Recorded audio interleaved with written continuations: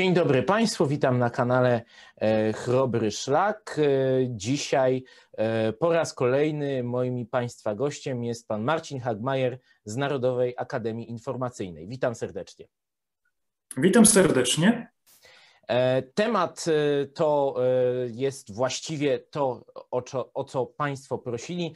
W pytaniach do poprzedniej naszej rozmowy padła prośba o przybliżenie historii Narodowej Partii Robotniczej, no, ponieważ my głównie tak rozmawialiśmy wtedy o raczej takich sprawach bieżących, to o Narodowej Partii Robotniczej jest osobny odcinek, e, osobny materiał, formacja, można powiedzieć, no, narodowa, jednak ewoluująca e, w, w kierunku raczej takim chrześcijańsko-demokratycznym, aczkolwiek też wielonurtowa, ciekawa, ale przede wszystkim przede wszystkim w zasadzie zapomniana, bo do spuścizny Narodowej Partii Robotniczej bodaj nikt się dzisiaj w Polsce nie przyznaje i nie odwołuje, mam na myśli te e, jakieś ugrupowania bardziej znane, bo na pewno, na pewno są jakieś e, pomniejsze, które te tradycje kultywują, a więc już przechodząc do meritum,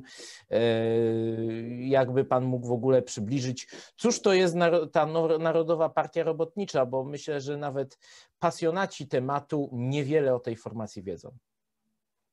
No rzeczywiście, było to ugrupowanie, zwłaszcza do okresu przewrotu majowego, dosyć silne i popularne, natomiast y, później już nieco poszło w zapomnienie. A jego mm, korzeni należy szukać y, w okresie rewolucji 1905-1907, kiedy no, y, powstał tak zwany Narodowy Związek Robotniczy, związany mocno z narodową demokracją, który zwalczał te ugrupowania y, kosmopolityczne, rewolucyjne typu PPS, później SDK, SDKP. Ale w roku 1908 pod wpływem Adama Hondzyńskiego działacze NZ ERU odłączyli się od narodowej demokracji, oskarżając e, zwłaszcza koło polskie w Dumie o lojalizm i prorosyjskość i samego Romana Dmowskiego. I e, de facto mm, przyłączyło się do organizowanych przez Józefa Piłsudskiego drużyn strzeleckich i legionów polskich, e, do których zachęcało wstępowania w roku 1914. Tutaj y, przypomnę, że duże wpływy miało, mm, y, zwłaszcza w okręgach uprzemysłowionych, to ugrupowanie, takich jak y, okręg łódzki, Zagłębie Dąbrowskie. Liczyło około 6 tysięcy członków i w roku 1920, po odzyskaniu przez Polskę niepodległości, Tutaj mm, mam taką, posiłkuję się swoimi tu rozpiskami połączyło się y, z Narodowym Stronnictwem Robotników, które istniało w latach 1917-1920, powstało w Zagłębiu Rury, natomiast rozwinęło się y, w Wielkopolsce. I y, połączywszy się z Narodowym Stronnictwem Robotników, utworzyło tak zwaną Narodową Partię Robotniczą. Narodowa Partia Robotnicza, chociaż pozornie z nazwy miała mieć charakter narodowy, to była jednak ugrupowaniem y, o charakterze solidaryzmu społecznego, bliższym później Hadecji. Y, opowiadała się za tolerancją religijną, y, za przede wszystkim y, no, autonomią dla mniejszości, ale co ciekawe, y, nie uznawała prawa y, Żydów do samostanowienia, do autonomii. Uważała, że ta mniejszość jest po prostu piątą kolumną. I to ją łączyło, jeśli chodzi o resztki jej związków z narodową demokracją. Opowiadała się przede wszystkim, jeśli chodzi o program, za systemem e, parlamentarno-gabinetowym. E, uznawała, co ciekawe, walkę klas, e, ale jednak w duchu chrześcijańskim i demokratycznym. Popierała reformy społeczne, powszechne, bezpłatne nauczanie, ale też kontrolę państwa nad zrzeszeniami monopolistycznymi, jakbyśmy to dzisiaj nazywali korporacjami. Y, uznawała zasadę właśnie chrześcijańskiej etyki w życiu społecznym, w relacjach międzyludzkich. Y, no i tak jak wspominałem, y, uznawała prawa mniejszości narodowych do autonomii, ale Żydom odmawiano nie tylko prawa do odrębności, ale nie uznawano ich w ogóle za mniejszość, tylko za nieproszonych gości. No właśnie. Największy wpływ, tak, proszę, proszę. Tak, tak, tak. To jest właśnie, e, to jest właśnie ciekawe, e, że warto o tym napomknąć, zwłaszcza, zwłaszcza tutaj, jeśli chodzi o, o te wątki, które ja dostrzegam, e, dostrzegam tu w Łodzi, gdzie tu jest stręczona namiętnie ta właśnie kalka Łódź Czterech Kultur, Miasto Czterech Kultur, pewnie gdzie indziej też by się takie kwiatki znalazły, że właśnie jakby czynnik etniczny często bardzo, y, bardzo y, dobrze się zazębiał, jeśli chodzi o czynnik narodowościowy, że właśnie, e, że co prawda no, nie wszyscy Żydzi to byli ci bogaci fabrykanci czy jacyś tam e, przedstawiciele wolnych zawodów dość zamożni, ale jednak y, wśród właścicieli e, właśnie w tych, w tych klasach lepiej sytuowanych, jeśli chodzi o właścicieli fabryk czy te wolne zawody, Polacy, Polaków albo w ogóle nie było, albo Polacy byli w dużej mniejszości i stąd chyba, stąd chyba właśnie była też pożywka jeszcze przed I wojną światową dla, dla tych grup, które potem znalazły się w Narodowej Partii Robotniczej. No mówię o tym dlatego, że często się taką idyllę tutaj sieje, a jeśli patrzymy na NPR i na to skąd w ogóle skąd w ogóle taka partia się wzięła, no to stąd, że e, polscy robotnicy pracowali najczęściej właśnie w niemieckich albo żydowskich fabrykach. Zgadza się. To był efekt y, polityki przemyślanej y, i wrednej polityki zaborczej w sprowadzaniu y, przez administrację carską tak zwanych Litwaków, którzy tutaj jako nieproszeni goście stawali się gospodarzami często wywłaszczonych, zwłaszcza po powstaniu styczniowych, majątkach polskich, także tych fabrycznych. E, no, wiadomo, jeśli chodzi o kwestię y, mniejszości niemieckiej, no to tutaj to byli, y, tak jak w większości Imperium Carskiego, no, by, była to mniejszość, która organizowała życie społeczno-polityczne i gospodarcze tego kraju i często też no, opanowywała administracja. Przypominam, gubernator Skałon, zwolennik depolonizacji, rusyfikacji, de facto miał korzenie niemieckie i był zwolennikiem współpracy niemiecko-rosyjskiej. No i też y, często i cynicznie y, posługiwali się mniejszością żydowską przeciwko Polakom, napuszczali jednych na drugich. I ta polityka spowodowała właśnie organizowanie się Polaków, tego typu organizacje. Trzeba tu też pamiętać, że przyczyną oderwania się NZR-u od narodowej demokracji było to, że no, narodowa demokracja aż do lat 30. de facto, y, tutaj przykład Grabskiego, jego reformy, no, y, chociaż miała wielki wkład w odzyskanie y, niepodległości i uświadamianie Polaków, tak naprawdę uratowanie Polaków przed no, zagładą kulturową, to jednak nie dostrzegała aż do lat 30. powstania ONR-u kwestii społecznych i nie potrafiła połączyć tych kwestii społecznych z narodowymi, co potrafili Piłsudczycy. Dlatego te rozłamy siali poprzez właśnie tworzenie takich organizacji jak NZR, później NPR czy NPR Lewica w końcu, która się odłączyła po zamachu majowym od NPR-u i poparła rządy sanacji. To jest istotne, że Piłsudczycy dostrzegali kwestie społeczne, dlatego tu mieli przewagę nad narodowcami, aż do lat 30. wczesnych, do powstania ONR-u. Y, to była bolączka ruchu narodowego. Y, no, oni oczywiście też w jakimś sensie dostrzegali narodowcy te kwestie, ale w bardzo słabym y, stopniu i tylko podczas wydarzeń rewolucyjnych tych, tych 1905-1907. Później nacisk kładli na kwestie wyłącznie narodowe, ale nie wszechklasowe. A właśnie NPR miało charakter przede wszystkim klasowy, a w dalszej części narodowy. To jest ta różnica. E, natomiast jeszcze e, idąc dalej, ja też tutaj zerkam w, w moją, jakby w moje e, tutaj pomoce naukowe, jakby można powiedzieć, no to się też tym skończyło, że część Narodowej Partii Robotniczej właśnie znalazła się w objęciach sanacji. I ten rozbrat z narodową demokracją, o ile początków jakby możemy się upatrywać w, możemy upatrywać w ruchu narodowym, to gdzieś tam błądziła. No, część, część wylądowała w objęciach sanacji, a ta część, która pozostała w Narodowej Partii Robotniczej, no, znalazła się w centrolewie, czyli też nie tam, gdzie byśmy sobie pewnie, przynajmniej dzisiaj patrząc z perspektywy czasu, e, tego życzyli. E, no, co prawda, historia czasem powtarza się jako farsa, ale w niektórych kwestiach ja widzę pewne jaskółki tego, że, tego, że właśnie w odniesieniu do części ruchu narodowego, czy przynajmniej polityków, którzy zaczynali swoje kariery w ruchu narodowym, no to taki schemat powtarza się i dzisiaj. No zgadza się, a wynika to z braku przeszkolenia na poziomie wywiadowczo-kontrwywiadowczym. To jest e, dowód operacyjny i cybernetyczny, że e, tego typu formacje jak Narodowa Partia Robotnicza miały bardzo słaby albo wcale nieistniejący kontrwywiad partyjny, e, czego nie można powiedzieć o Piłsudczykach, którzy mieli znakomitą swoją dwójkę opartą o wywiad POW, prawda?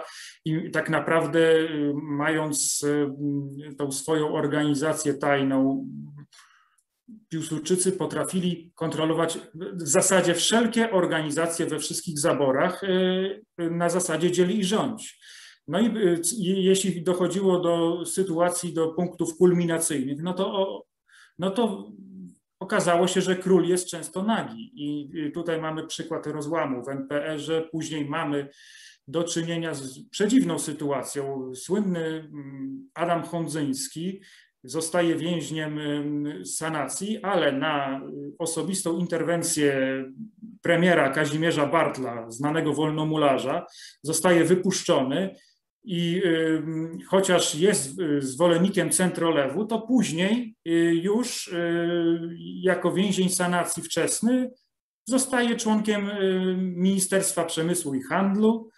Później sprzeciwia się aliansowi z mm, Polskim Stronnictwem Chrześcijańskim Demokracji, y, kierowanym przede wszystkim przez takich ludzi jak Wojciech Korfanty, no i y, w konsekwencji NPR y, wchodzi w skład Stronnictwa Pracy, staje się częścią Stronnictwa Pracy, to pokazuje, że no, Piłsudczycy mieli przemożny wpływ e, operacyjny i sterowniczy na e, poczynania tego typu partii. I dopiero, tak jak już wspominałem, ONR miała swój kontrwywiad i wywiad partyjny i dlatego musiała zostać rozwiązana jako pierwsza organizacja y, taka istotna, y, ponieważ nie była pod kontrolą dwójki ani policji państwowej. Natomiast tego typu formacje właśnie jak NPR, wcześniej NZR pod kontrolą Piłsudczyków były i dlatego y, te ich miraże polityczne no, wydają się nam dziwne, ale jak się zna ma się pojęcie o cybernetyce społecznej i no, wojnie informacyjnej, no to to już takie dziwne nie jest.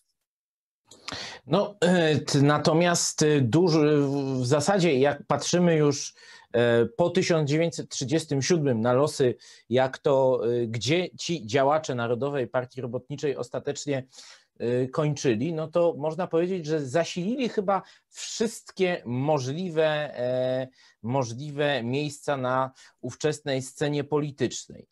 No bo jak tak spojrzymy, że część jakby, przepraszam, organizacji robot, tych, tych przyległych do Narodowej Partii Robotniczej, może nie samych części NPR-u, ale tych takich organizacji e, satelickich, no tak jak na przykład Związek Młodzieży Pracującej Jedność, e, które radykalizują się w kierunku komunistycznym, prawda? Zasadnicza część ląduje w stronnictwie e, pracy, właśnie takim chrześcijańsko-demokratycznym, aczkolwiek też myślę, myślę stronnictwo pracy, albo szerzej pisząc Front Morsz, no to, to, to jest formacja, która potem opanowuje rząd polski na emigracji i między tymi ludźmi, którzy w tym rządzie na emigracji się znajdują, w rządzie na uchodźstwie są jeszcze inne związki organizacyjne. E, a z kolei e, niektóre organizacje Narodowej Partii Robotniczej zostają opanowane przez e, RNR Falanga, czyli jak widać taka, taka specyficzna synteza walki klas z ideą narodową no, skończyła się totalnym, totalnym jakby rozjazdem tych ludzi w kompletnie różnych kierunkach. Zgadza się, a członkowie NPR-u no, brali udział między innymi w gabinetach rządu emigracyjnego generała Sikorskiego, czy premiera Mikołajczyka, słynny Karol Popiel choćby. To, to jest najlepszy przykład. No tutaj wracamy właśnie do kwestii sterowania. To jest to, że tego typu formacje, jeśli nie miały kontrwywiad, to były przejmowane nie miały kontrwywiadu y, partyjnego, to były przejmowane przez y, systemy, które takie y, rozwiązania informacyjne posiadały.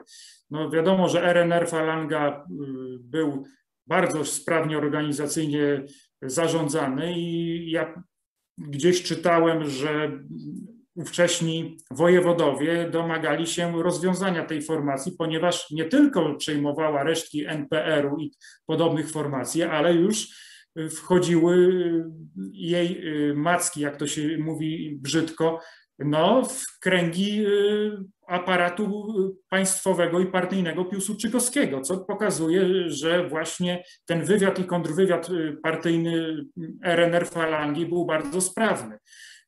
Natomiast no, czegoś takiego nie było ani wcześniej w NZR-ze, ani później w NPR-ze i w stronnictwie pracy. I dlatego to stronnictwo skończyło w okresie stalinowskim tak, jak skończyło. I y, nie miało przede wszystkim pojęcia o ideologii, y, strategii, no i sztuce operacyjnej.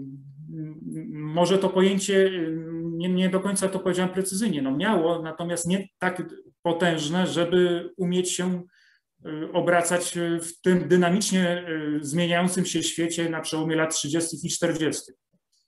No tym bardziej, że lata 30. to jest taki okres potężnej radykalizacji nastrojów. No i tu właśnie to, to, to o czym powiedziałem, że tu część gdzieś zaczyna komunizować, część ląduje w, w, w, w ruchu narodowo-radykalnym, no to pokazuje, że, że w tych czasach takich można powiedzieć, e, e, żelaza i ołowiu, no to e, droga środka nie jest, nie jest popularna i droga środka jest po prostu zmierza, zmierza na zatracenie. Tak jak dzisiaj. Zgadza się. Tak jak dzisiaj, dlatego że no, tutaj trzeba, tak jak wspomniałem, się umieć odnaleźć, a że, co to znaczy umieć się odnaleźć? No po prostu być przygotowanym do tego typu sytuacji, y, mając pojęcie o sztuce operacyjnej, strategii, ideologii. Bez tego, y, no dzisiaj to nazywamy cybernetyką społeczną, wcześniej y, tego nie było, ale poziom wiedzy y, był tak duży, że y, warto było się y, i można było się odnaleźć w tej sytuacji, no ale niektórzy, mając takie, a nie inne motywacje, często witalne, nadpoznawczymi i ideologicznymi, no zatracali się. Nie było tam w pełni wielu ludzi ideowych. Część była właśnie przekupywana, część zastraszana lub zniechęcana też warto zbadać, jaką rolę odgrywała e, masoneria wolnomularstwa, bo tak jak wspomniałem, Hondzyńskiego uwolnił osobiście, na osobiste polecenie uwolniono premiera Kazimierza Bartla, znanego wolnomularza. Tutaj też jest to kwestia do zbadania. E, myślę, że cybernetyka społeczna e, mogłaby przyjść z pomocą badając jego życiorys i późniejsze decyzje oczywiście. No tu też myślę, że, że jeśli chodzi o powiązania wolnomularskie, należałoby się przyjrzeć też, też tym rządom emigracyjnym, bo to, to tam z pewnością te powiązania też odgrywały pewną rolę e, w, w, w tworzeniu się tych gabinetów, zwłaszcza tego pierwszego gabinetu zaraz po, po wrześniu 1939 roku. Zgadza się. No, pamiętać należy, kto tutaj był nadzorcą. Wcześniej byli to przez krótki czas Francuzi, a później y, Brytyjczycy, czytaj Anglicy, a no, to była kolebka wręcz wolnomularstwa. Wszystkie te rządy państw zachodnich były wręcz y, no, wyhodowane przez y, wolnomularstwo, które, jak wspominał profesor Ludwik Haas, jest kościołem liberalnego kapitalizmu. Więc y, te wszystkie państwa, imperia kolonialne, w ogóle idea kolonializmu, multikulturalizmu jest właśnie ideą liberalno-wolnomularską, więc narodowo-katolickie czy y, katolickie, chrześcijańskie y, rządy no, nie miały racji bytu w tamtym czasie i na tamtym terenie.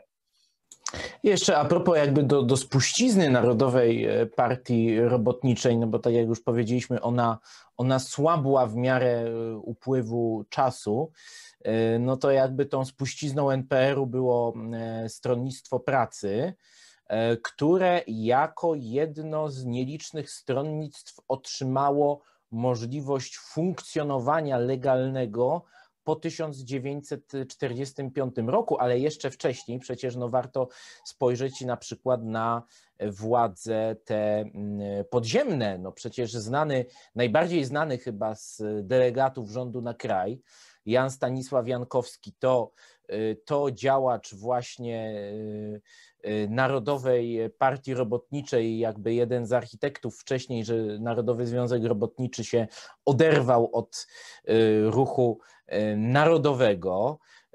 Potem, potem właśnie z ramienia stronnictwa pracy był tym delegatem rządu na kraj i właśnie władze podziemne E, wtedy zatwierdzają i personalnie, personalnie właśnie Jan Stanisław Jankowski zatwierdzają wybuch powstania warszawskiego. W trakcie powstania e, jakby ogłaszają wielkie reformy społeczne, ścigając się praktycznie kto da więcej, e, z, ścigając się z Polskim Komitetem Wyzwolenia Narodowego. A potem to stronnictwo pracy właśnie pod wodzą Karola Popiela otrzymuje po 1945 roku e, możliwość na krótko, ale jednak możliwość legalnego działania. Tak, tutaj należy mm, również zasięgnąć cybernetyki społecznej i pamiętać należy, kto był y, obiektem sterowanym, a kto sterował. To była polityka brytyjskiego rządu, która y, miała na celu Y, pozorne polonizowanie y, rządu po 1945 roku, doda, dodając tu członków organizacji niepodległościowych, ale w ramach operacji Splinter Factor, y, czy Splinter Factor, jeśli się przejęzyczyłem, to proszę o wybaczenie. Zarówno służby amerykańskie, jak i brytyjskie poświęcały tych polityków, y, budując y, swoje kanały wpływu w aparacie partyjno-państwowym, najpierw PKWN, później PPR i PZPR. Pozornie y, do 1947 roku wszystko było zalegalizowane. Pamiętać należy, że no, premier Stanisław Mikołajczyk, którego rządzie był Karol Popiel, no, działał zgodnie z polityką amerykańską to znaczy pozwolił Polakom zapłacić podatek od złudzeń, że tutaj y, działacze niepodległościowi mogą y, coś y, uzyskać, a tak naprawdę wszystko już było w Jałcie, a wcześniej w Teheranie przyklepane. Stany Zjednoczone podzieliły się za zgodą Brytyjczyków, których mieli już pod kontrolą po 1941 roku ze Związkiem Radzieckim, Europą i światem, dzieląc imperia kolonialne. Nie było miejsca dla niepodległej narodowej, zwłaszcza Polski. Y, dlatego no, należało doprowadzić do y, tych wyborów 46 roku, do pozoru wyborów, y, a po 46 no, nie było już miejsca i tacy działacze jak Karol Popiel musieli wyjechać. Najpierw do Stanów Zjednoczonych, potem do Rzymu. Na zasadzie Murzyn swoje zrobił, Murzyn może odejść. I należy pamiętać, że to jest konsekwencja bezgranicznego zaufania aliantom niesprawdzania ich polityki na poziomie strategicznym i ideologicznym. No i później doszło do tej y, w cudzysłowie niespodzianki, czyli po prostu y, sprzedania tych działaczy, tak jak sprzedania żołnierzy niepodległościowego podziemia, których listy no, Brytyjczycy sprzedali y, tutaj mm, mm, no, UB, no i NKWD, o czym się mało mówi. No ale tego była, y, to była cena właśnie operacji Sprinter Factor. E, no to prawda i stronnictwo pracy w końcu w, w końcu uległo dezintegracji w PRL-u i jego działacze w większości znaleźli się w stronnictwie demokratycznym, no chociaż tacy ludzie jak na przykład Felix Widywirski byli członkami potem Polskiej Zjednoczonej Partii Robotniczej. E, gdzie myślę, że to właśnie i Zygmunt Felczak i Felix Widywirski e, według historyków no, odgrywali główną rolę w tym, e, w tym procesie dezintegracji stronnictwa pracy Karola Popiela. No, zresztą w tym systemie, który powstał po po już jednoczeniu tych partii, kiedy, kiedy powstał system PZPR plus satelici, no dla Stronnictwa Pracy, dla partii chrześcijańskiej w systemie, w systemie tym stalinowskim, no nie było miejsca. E, nie było miejsca, bo też ta tradycja nie była chyba tak silnie zakorzeniona, jak nawet, e, dajmy na to, e, w Niemczech Wschodnich, gdzie ta partia chrześcijańsko-demokratyczna, fasadowa istniała przez cały okres istnienia NRD. Zgadza się. No, u nas główną rolę jednak y, odgrywała narodowa demokracja, nie chrześcijańska demokracja i ona nie przetrwała próby czasu, dlatego że no, interes y, zawsze Kościoła przedkładała na interes narodu y, i to było nie do pogodzenia z interesem no, walki narodowo-wyzwoleńczej często, bo no, Kościół miał swoje interesy i te, y, tę kwestię rozumiał Bolesław Piasecki, dlatego stworzył swój paks, mając swoje służby wywiadowczo-kontrwywiadowcze i potrafił się y, usadowić y, w tym ciężkim, no, ciężkim bardzo momencie dziejów Polski. Natomiast, tak jak Pan wspomniał, no, część przeszła do Stronnictwa Demokratycznego, które przypomnę, było wylęgarnią wolnomularstwa w PRL-u zwłaszcza członków y, tak zwanej Loży Szkockiej, y, tego liberalnego wolnomularstwa, nie tego antyklerykalnego. No i tutaj wracamy do tych śladów operacji brytyjskiego i amerykańskiego wywiadu. To jest właśnie konsekwencja tego działania. Natomiast no, Bolesław Piasecki poszedł swoją drogą i dlatego osiągnął sukces y, w postaci zakorzenienia się w strukturach y, y, tych, tego aparatu stalinowskiego, bo potrafił no, polskich działaczy w ramach PPR-u, PZPR-u i aparatu wojskowego, zwłaszcza marszałka Rokossowskiego, zaciągnąć do działań na rzecz budowy no, narodowych wpływów w PZPR-ze, czego nie, nie, rozumieli działacze Stronnictwa Pracy, posługując się retoryką dosyć archaiczną, anachroniczną, y, chociaż y, w wielu kwestiach no, mieli no, szczere intencje, natomiast no, nie przystawały one do realiów politycznych, a zwłaszcza geopolitycznych tamtego czasu. To ja tak się jeszcze zapytam, podchodząc powoli, zbliżając się do końca, jeśli chodzi o ideologię tego, no powiedzmy nawet szerzej niż sama Narodowa Partia Robotnicza, tego narodowego ruchu robotniczego, które różne oblicza organizacyjne na przestrzeni E, na przestrzeni e, dziejów e, miał. Co prawda, no, te, ta Narodowa Partia Robotnicza była szyldem chyba funkcjonującym, a wcześniej Narodowy Związek Robotniczy szyldem funkcjonującym najdłużej, mający naj, najszerszy zasięg.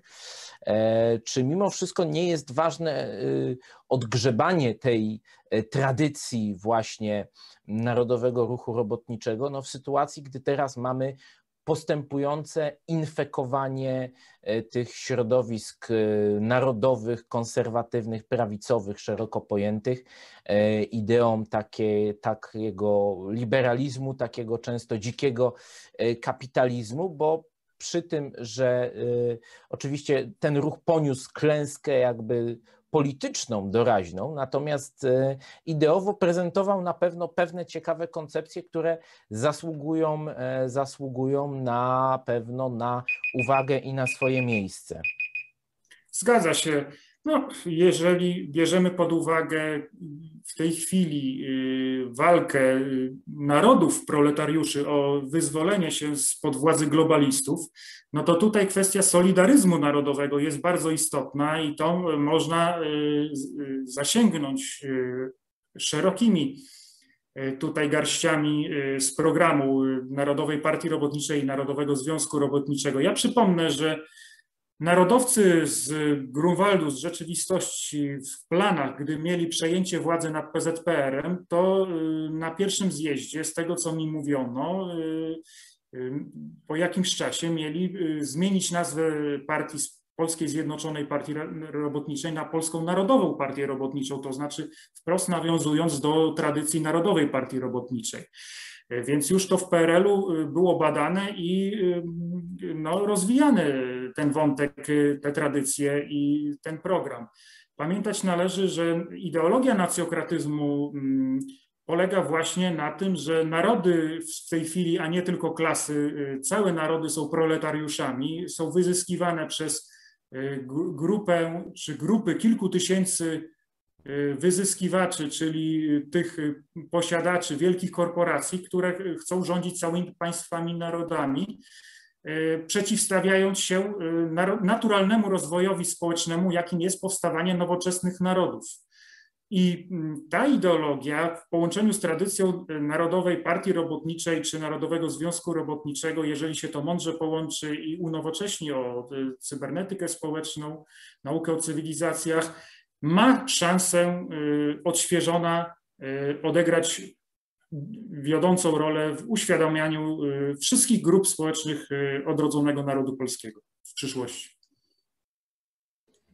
I miejmy nadzieję, że ta tradycja zostanie, zostanie odgrzebana, bo pojawiają się powoli już na, na gdzieś tam nawet na rynku wydawniczym e, pozycje właśnie odwołujące się gdzieś do, do tradycji narodowego ruchu robotniczego. Pewnie, pewnie jeszcze mm, daleka droga, no ale też ja bym sobie chyba nawet życzył, że jeśli mamy mieć jakąś lewicę, to może warto też jej y, jakby ją nakierować w tą stronę, w tą stronę właśnie tej spuścizny, aniżeli mielibyśmy mieć to, co obecnie ten produkt lewicopodobny, jaki obecnie funkcjonuje w Polsce, bo ta lewica nas zaprowadzi do kompletnego upadku. Zgadza się. No ta tak zwana obecna lewica realizuje ideologię liberalno-wolnomularską, czyli sprzeczną z ideą y, ludzi pracy.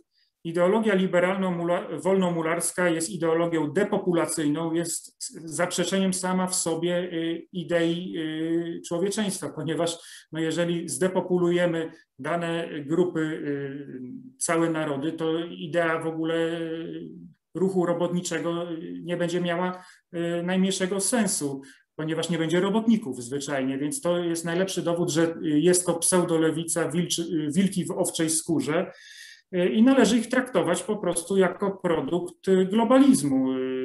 Wrogi ludziom pracy, wrogi reformom społecznym, a raczej deformom społecznym.